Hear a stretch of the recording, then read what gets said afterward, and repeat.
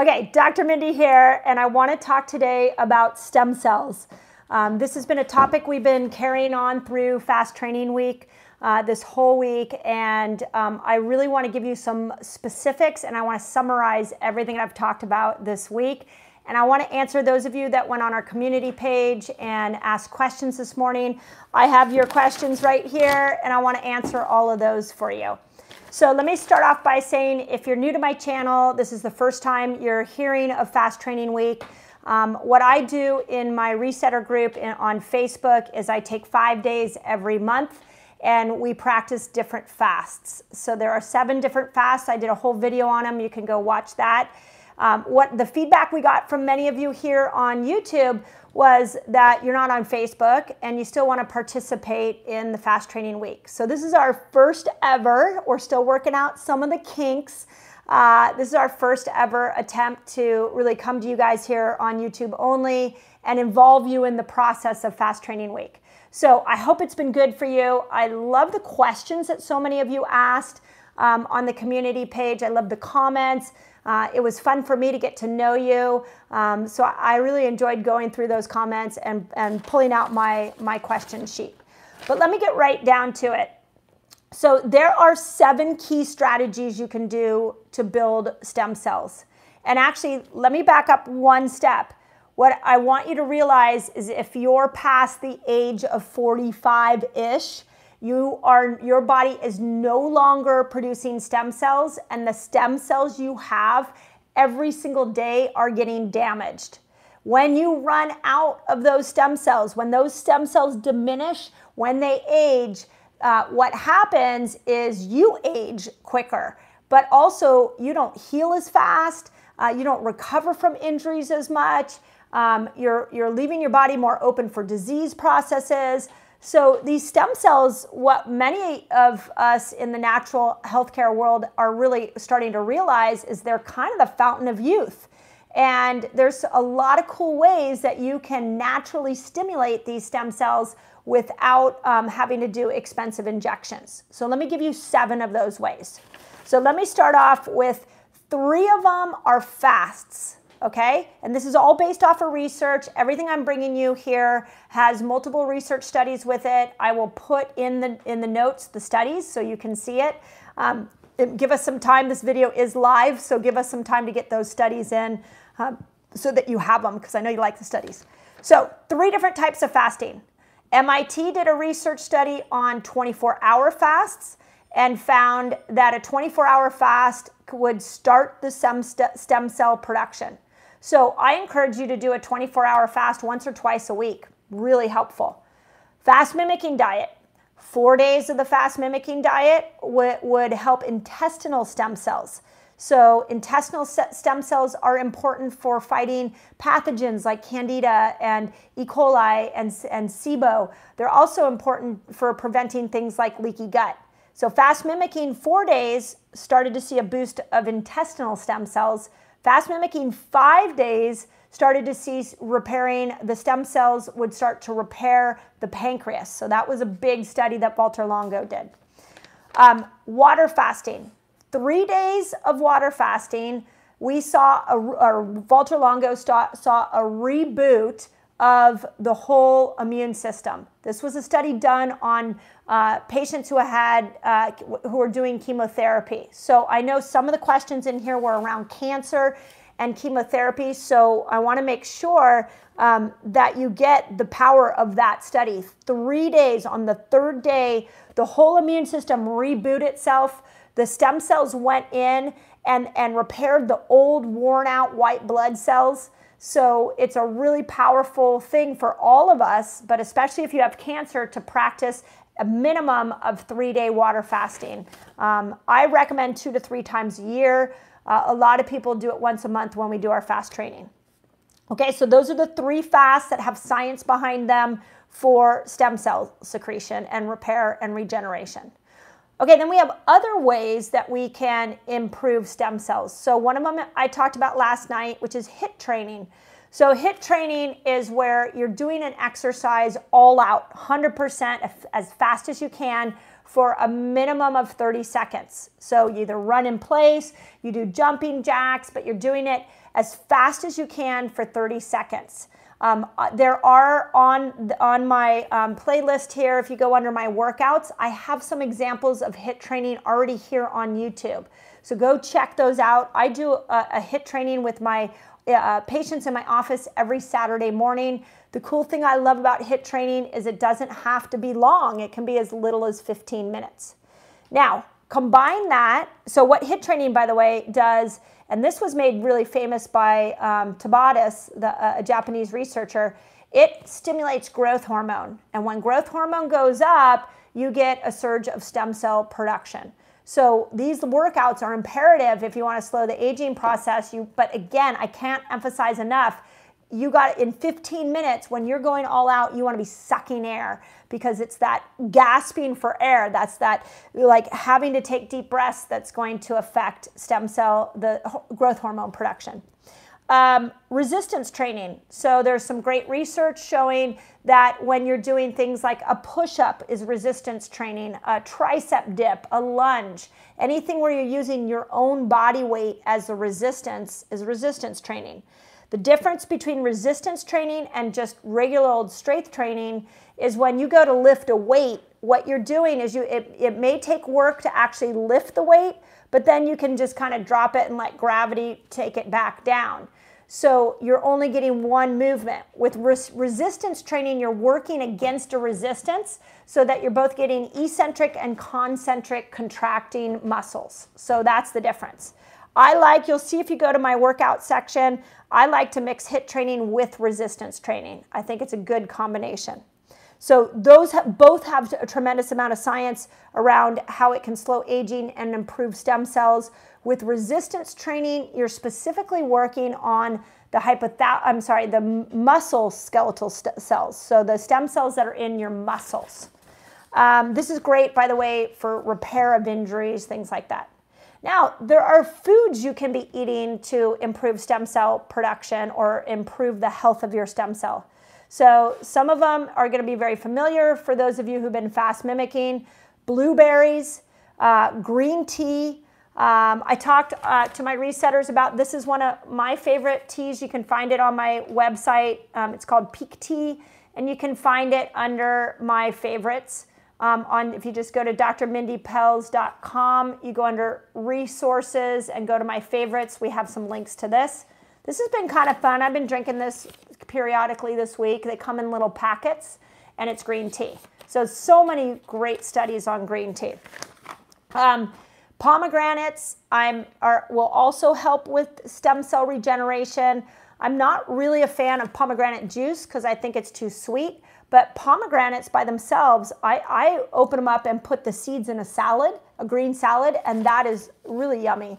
So, um, so try some pomegranates, goji berries. Again, if you can get it fresh and not in a juice, that would be preferred.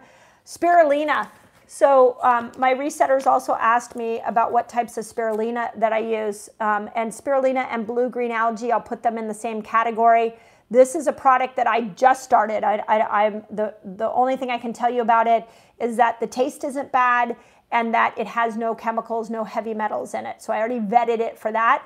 I'm literally trying it for the first time this week. Um, and it's yummy. It's good. I put a little teaspoon in water and just go about my day drinking the water. So um, those foods. Oh, and then uh, let me back up one one thought all the foods I just mentioned blueberries, green tea, pomegranates, goji berries, spirulina, blue green algae they really help with two types of stem cells bone marrow stem cells, which those of you who have osteoporosis, this is really these are really important for you. Um, and they also help with the memory cells that are in the hippocampus. This is crucial because the hippocampus is where Alzheimer's and dementia is happening. It's deep in your brain and it's where mood and memory come from. So really making sure that you're getting a daily dose of some of those of those foods are great. Now there are other supplements that you can take that will help with stem cells as well. And, I, and I'll post an article tomorrow morning. I'll put it on the community page about these supplements because I found some really good science behind them. Um, so vitamin D, C, and A and they don't say the amounts on there, so just in case you're asking, uh, turmeric and curcumin. So um, two of our favorite supplements that have those in there are ROX, R-O-X, and Epic. Those two supplements you can find on Revelation Health. Um, and you can get it there. If you've never ordered with Revelation Health, just know your first order has 10% off if you use my last name. So that's a that's a gift to you. Um, but that is those two supplements are really, especially ROX, is really high in antioxidants, specifically the antioxidants that will uh, produce stem cells. So now, if you do the food and you do the supplements that I just mentioned with a probiotic, what they found is you got even more stem cell repair. So every, I mean, a good microbiome seems to help everything, right? So make sure that you're adding a probiotic to that. So seven things. Three of them are fasts. Two of them are exercise styles. One of them is a food group, and one of them is a um, supplement group.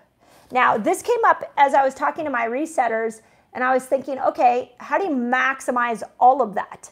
And a couple things I would tell you is I would do in these fast training weeks, or you can do it on your own, where you would do fast mimicking for four days, or you would do water fasting for three days. You would come out of those experiences and then you would start to add in HIIT training and resistant training exercises um, like the ones you'll find on my workout playlist and then you start feasting on blueberries, pomegranates, um, and the spirulina. Yes, um, you can have a glass of red wine. Red wine, when it's clean red wine, really helps with cardiac um, stem cells, but make sure it's organic. We personally like dry farm wines because they have tested it for all the chemicals. So if you come out of that fast and you have a, some red wine, don't break your fast with red wine, but a couple days later you have some red wine, you're going to maximize stem cells, and then you load up on those supplements. It's kind of a cool protocol, and you, that could be something that you do once a week or or um, two weeks out, out of every month, or you know, week and a half out of every month. But you're really diving into using all the biohacks that we know around stem cells um, that are involve fasting, exercise, and food and supplementation. So I just thought that up today when I was talking to my resetters. So I'll, I'll actually type it up um, and I'll put it here on this community page. I'll just map out like a seven week protocol for you guys um, for stem cell production. So no, that's coming. Okay, your questions. Let's get to your questions. So um, I love somebody said, I can't wait to feast on, on brisket. So um, totally get you, and I will encourage you to do a day of veggies first and some some higher carb foods, and then a day after that do some brisket. If you go from a fast mimicking diet right into meat, it can be a little tough, um, but you know your your gut better than me. Uh, somebody asked something said made a comment about our uh, my husband and I's stamina and all the videos and stuff we've been doing. It's a testament to fasting. So I here's thank you for the kind comment by the way, but the reason I wanted to address it on this is you can with fasting and keto and the biohacking tools and the, um, the repairing your microbiome, everything I'm teaching you guys here, it can create insane amounts of stamina, mental clarity, and energy for you. And, and so much of it you can do without spending a dime. So I love that comment because I, I, I had chronic fatigue 30 years ago. I did not always have this energy. So I created it through lifestyle, and you can create it too. So please make sure that you get that this is not unique to me. You can have this energy too. We just got to keep you fasting and doing the keto and the variation and the stem cell production, everything that I'm teaching you here. So, okay, uh, somebody said that they want to keep going on a fast, but that their ketones are at 4.3. I'm going to say this again because it's really important. Um, the edge of when you want to break a fast is 8.0. So if you're at 4.3, awesome. If your blood sugar gets below 40, you want to break a fast. Okay, somebody's in the middle of a, of a three day fast and they're like, or they're heading towards the third day and they're suffering, they're struggling. Do you just suffer on through? Is, uh, is kind of the, the way I looked at that message. And this is where the fasting trio really helps out. Um, so if you haven't tried the fasting trio, which is fast tonic, uh, cyto detox, and bind, that will really mitigate your symptoms. Um, many of you are um, have tried different versions of, of apple cider vinegar. One of you said that you've been doing apple cider vinegar, Himalayan salt, lime, and cream of tartar, and that's been helping your symptoms. So that's from our community. I'm just passing that along. But I like the fasting trio. It works really well for me, um, and it really helps with the symptoms. And the more you fast, those symptoms start to go away. Somebody asked if dry fasting was better than water fasting. Um, yeah, I mean, it's really hard to say. I do think there's a benefit to a 12 to 24 hour fast, dry fast. And I think there is some belief that um, it will get you into ketosis and get you more stem cell reject, uh, rejuvenation um, quicker than a three day water fast. But um, here's the thing: we don't. Ha- I looked for the research. I can't find it. So if you are a dry, dry fast lover and you have the research, post it here on this video, and I would love to see it. But I, I, I can't find the, the, research on it. I know a lot. There's a, a, belief about it, but I can't find the research. Um, somebody said that with fast mimicking, they're not getting into ketosis. And they're also on chemo drugs, so they were wondering if the chemo drugs were preventing it. So, fast mimicking, you may not get as deep of a keto- ketogenic experience as um, water fasting. Drugs can, of all kinds, can alter how deep you go, you, what, your, what happens with your blood sugar and what happens with your ketones.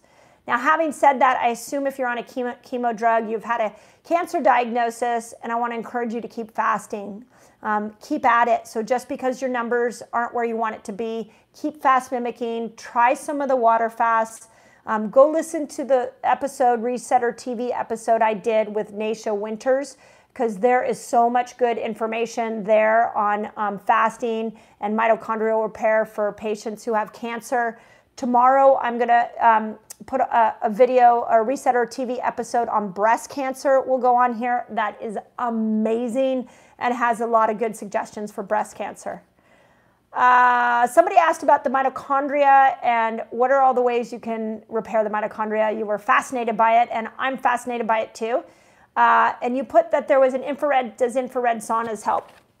Let me give you a list here for mitochondrial repair. You got to make sure you keep your sugars down. You got to keep eat the right oils. You got to remove toxins like heavy metals from your body. Um, you got to look at things like hydrogen water to get in there and repair the, the, the mitochondria and help with free radicals that get that that come off of the mitochondria. Um, oxygen. So a lot of the hyperbaric oxygen trainers we're looking to bring into my clinic a LiVO2, which is an oxygen trainer where you put it on your mouth and you and you ride oxygen is coming in while you're riding a bike. So there's a lot of interesting research around what oxygen can do for mitochondria um, and light therapy. So, oh, and, and I have one more thought. Light therapy like infrared. So the infrared sauna is great. Lasers are great. The Joovv light, if you like the red light from the Joovv light is great. Those kind of things are repairing mitochondria. And then Bruce Lipton really explained to us that mitochondria need your thoughts to be positive, that negative thoughts can affect the cell membrane and can affect the health, the general health of your cells. And he's a biochemist. Yeah, if you're not familiar with Bruce Lipton, just Google him or um, put him in the search bar here on on YouTube. His videos are incredible. He's a biochemist who really talks about um, our thoughts and how they affect our our cells.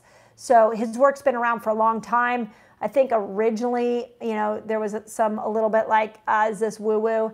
But he has been around for so long, he's done so many studies, it is not woo woo anymore. There's a lot of um, uh, scientific backing to what he's doing. Uh, nitrous oxide, how do you help it? Um, there's actually an exercise that Dr. Mercola does. You can go to Dr. Mercola's website and type in nitrous, uh, nitrous oxide exercises. And he has a, a, what he calls a nitrous oxide dump, and it's like moving your arms, doing some uh, sitting. Uh, so go look there. Um, if there's an, a lot of interest in nit- nitric oxide dumping, uh, i will do a video for you guys and kind of show you how that works. Uh, stem cells and cancer, yes, um, stem cells can help cancer. um, fasting can help cancer. Please make sure it's a part of your stem cell protocols. Um, I know down at the Hope for Cancer, Dr. Tony Jimenez um, is doing a lot of stem cell injections for people with cancer.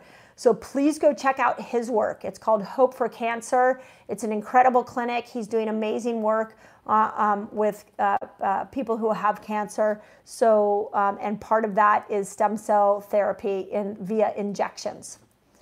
UTIs uh, while you fast. Why is that happening, or is it due to low pH? Um, yeah, we see a lot that it can be stressful on the kidneys. So make sure you're drinking enough water. It could be a pH change. It could also be that you, your kidneys um, were harboring an infection, and as you started to clear, clear uh, your kidneys out, the infection revealed itself. But we've seen it a lot. So hydration is really good. Um, we use a, a, supplement for kidney infections called Ecovirome. So it's called EC. It's phage therapy, and you can find it on Revelation Health. Um, break fast. How do you how do you break the fast? Um, what does a feast day look like? Um, so I think this person was referring to the fact that I, um, I said go slow, especially from a water fast. I would do broths, I would do steamed vegetables, I would avoid meat for 24 hours. Um, I like doing uh, kombuchas and some, some um, probiotic rich foods is great. Um, but when you feast, when you go into a feast, there's really kind of no rules around the macros of feasting. The way I look at feasting is that what you want to do is just up your good foods. So, good carbs like potatoes and sweet potatoes.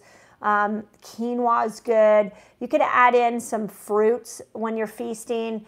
Um, you can add it, don't worry, need to worry about protein amounts. Like feasting is taking all of these good foods and you're just upping them. Um, and then after a feast day, you go back into a fast day. So feast day doesn't mean go crazy. Feast day means take a lot of these great foods, eat more of them, and then go back into a fast. I hope that helps that you understand that. And then we had some really good suggestions about, I, I told you about the apple cider vinegar. Somebody said stem cells that don't forget sleep and sunlight and supplements and I can't even read my own writing. Uh, oh, and adaptogens. So yes, agreed. I will put an article tomorrow that lists out many of them. And then I want to I will end my comments on uh, we're getting a lot of questions about keto fasting and postmenopause. So postmenopausal women, even though your um, hormone levels are low, your estrogen, your testosterone, and your progesterone, um, you still are, will benefit from throwing in some of the protein, the hormone-rich days that I talk about. Go watch the video I did on four different types of women and how each type should do keto and fasting different. But um, I am finding that postmenopausal women, you don't need to time your fast um, like perimenopause or people for women in childbearing ages. You don't have to time that as much. Um, so you can get away with fasting whenever, but I would still encourage you. I think the comment the person left was I noticed that my friends that do keto that are postmenopausal do it a little different. Well, you'll, you'll see that I'm a big fan of variation. And I feel like when we get really strict with keto and we get too rigid with fasting, it doesn't matter what your time of life is, you're going to eventually come up against a wall. So with postmenopause, let's just throw in some hormone days. Let's throw in some of these um, uh, days, and you can do uh, one or two here or there, and then go back to keto. So don't lose sight of the foods that you need to raise progesterone. We live in an estrogen dominant world. So you're getting exposure from anything that's creating more increase in estrogen. Um, you're getting exposed to it in your air, your soils. Our furniture gives off toxins that will create estrogen to go high. And one of the ways we bring estrogen down is by raising progesterone. And progesterone you raise through eating foods like potatoes, citrus foods, tropical fruits, beans, squashes, things like that. So just keep in mind that even though you're postmenopausal, you still want to do that. Okay, questions? Um, question, uh, well, I think uh, something I would, I would emphasize is you want to talk about using a meter in fasting and three going three days. Yeah, I know a lot of you don't want to use a meter, um, but I would encourage you to use a meter. I think two of the we've watched so many people fast now through you guys here on YouTube and our resetter group, and I'll say that the two major mistakes that people make. One is that they don't use a meter, and we've had people who faint and pass out. So that's not smart. Um, you want to know where your blood sugar's at. If your blood sugar gets below 40, that's not good. You want to stop. Um, so you need to do that meter. I think it's really important. Um, I know that it's an added expense, uh, but it's a worthy one. So do the meter. And then the second thing I'm really seeing that's I'm concerned about is people going on these very long dry fasts. Um, like I said, I'm not I'm not the believer that you should go longer than 24 hours. So surely there are people out there that believe it. It's not me. So I think 12 to 24 hours is a good range for dry fast. Uh, somebody uh, did fasting and it gave them acid reflux. Acid reflux and fasting that can happen as the pH changes. A um, couple recommendations that I have are um, uh, apple cider vinegar actually surprisingly works. Um, uh, there's a supplement called DJIS. You can find it on Revelation Health that works. Aloe vera juice will work as well. And I find that the more you fast, that will go away. But you might need to lean on those in the beginning. Um, five day versus a three day water fast. What are the additional benefits of stem cells and autophagy? Yeah, you know, a lot of us, once we hit day three, we want to stay in a fasted state because now we're in stem cell land. We're in max stem cell land. So our body's now really rebooting the immune system. We've got maximum output of stem cells. So if we continue on for four and five days, we're those day four and five, you're getting more stem cells. So it's more regeneration. Um, now, having said that, um, you know, I, I up until this fast training week, whenever I did a water fast, I always did five days. This fast training week, what I did is three days water and then two days fast mimicking. So you don't always have to, you know, make sure you're enjoying the process as well and mix it up. Um, question about Lyme disease. Will fasting help Lyme disease? Yeah, and this question, these questions come up a lot. Like, will fasting help X? And I, I'm going to tell you that fasting helps with everything. So here's my dog. I don't know if you can, do my dog even, our dogs actually fast. I'm not joking. Um, we do, our dogs do one meal a day, and about a couple times a month, they do uh, a, a, 20, uh, a 36 hour fast. And that is under the um, guidance of our natural holistic vet that I'll be bringing on to reset Resetter TV. So, total side note. But back to Lyme's disease. So, yes, it can help. But, um, there's, it won't be the cure all, but whatever condition you have, especially autoimmune conditions, there, fasting is an incredible way to tap into an inner wisdom in your body that is so much smarter than every doctor on the planet. So use fasting. Get, that's why I call it a fasting lifestyle. Get used to all these seven different fasts. Part of why I do fast training week is because I want to mix it up for you. I don't want it to get boring. I want it to have uh, keep being interesting because there's so much benefit there for all of us. But if you have a very specific condition like Lyme, yes, it will help. Um, fasting is a healing state that you all, that we all want to be in. So I think you know we say food is medicine, and I want to add on to that fasting is medicine. Both of them are medicines. One thing about Lyme disease is they've been found a lot of linkage between a healthy mi- gut microbiome and Yeah. helping deal with it. The Mayo Clinic, Harvard, they're all doing research on that. Yeah, with Lyme disease, one of the things we know is that um, Lyme can really proliferate um, in a depleted microbiome. So you in like let's go to cancer for a second. It, every expert I know on cancer says don't treat the cancer, treat the terrain that the cancer is living in. Meaning, how did your body be, be able to build cancer cells? Look at the environment, the terrain it's living in. I'm going to say the same thing for Lyme. Look at the environment that allowed Lyme to grow and to become symptomatic. And the microbiome is a key piece to that. So, um, repairing your microbiome, fasting, um, and then on top of that, yes, there's a lot of cool protocols you can do for Lyme. But good point. Um, can fast? Oh, are eggs okay to stop a fast? Uh, it, I think they're okay. They're a little hard. And I, at my very first water fast, I did that. I had scrambled eggs. I thought, oh, scrambled eggs will be good on my digestion. And I just wanted to fall asleep. So they were really hard and they were like a lump in my stomach. I couldn't digest it very well. So I'm going to recommend that you, um, that you maybe put it either later in the day or the next day. It could be difficult for you. Uh, can fasting change your menstrual cycle? Fasting can change your menstrual cycle in a couple different ways. Um, it changes your menstrual cycle. I've seen people it pull um, women out of menopause. When I interviewed Dr. Anna Cabeca, um, she said that I was so intrigued by how she said she had come out of menopause three times.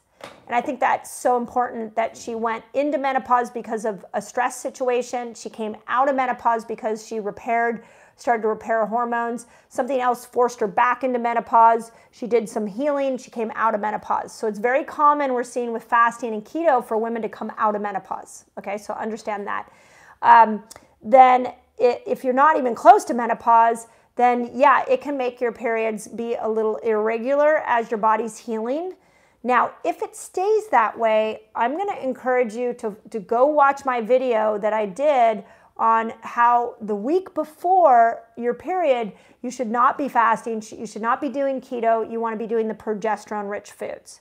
So, if you, you've been doing a lot of keto and fasting and you're losing your period, it may be time to do some hormone building days. So, go watch that video. I just put that out um, last week. It, I think the title of it is women's hormones, and then it has says keto and fasting on it. And menstrual migraines, the same kind of advice. Yeah, same thing with migraines. Um, we see migraines of all kinds with fasting. That's part of the healing process. I know it's not fun. Um, I, I would encourage you to stick with keto and, and fasting and, and hormone building the week before your cycle. Um, other things that can cause migraines, menstrual migraines, mold, if you're living in a moldy home, or uh, heavy metals are another another if you have a heavy metal toxicity. So if you've tried everything, it's not working. It's time to look at those two things. Okay. Um, last question: Is the water fast hard on kidneys? Is the water fast hard on kidneys? Um, we are seeing some kidney infections. Um, I, I, you know, I don't, I haven't seen it cause any kidney damage for people. I haven't seen any research that it's hard on kidneys. If you have a weak kidney or you're concerned about it, there are supplements you can take to help support your kidneys, um, like uh, K Kidney. You can find that on Revelation Health. So I have with my patients, if I if I suspect that their kidneys have just been taxed too much, I will supplement as we put them through fasts. So I hope that helps. And then maybe even coming out of a fast, do some some cranberry juice without any sugar, dilute it in some water, and do and, and drink some of that after your fast to just replenish those kidneys. So, okay. Again, let me know, you guys here on YouTube, has it been helpful for me to come and do lives every night? Um, I'd love your feedback on that. Um, and uh, you know, I, I, this channel is for you. So, what do you want to know more of? Let me know, and I'll make sure I do a video on it. Once I get done with Fast Training Week, um, I'll dive into doing more videos that will address some of the specific questions that you guys have.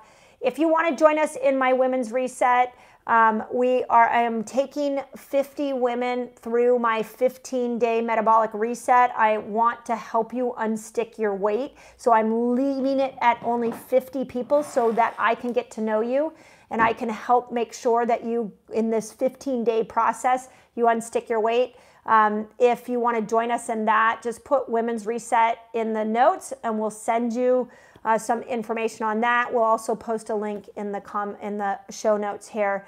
Um, we are already at around 31 people signed up, so I have 19 spots left. So and it launches in two weeks. So no, if you're you want to do it, hop on it because I will cap it at 50.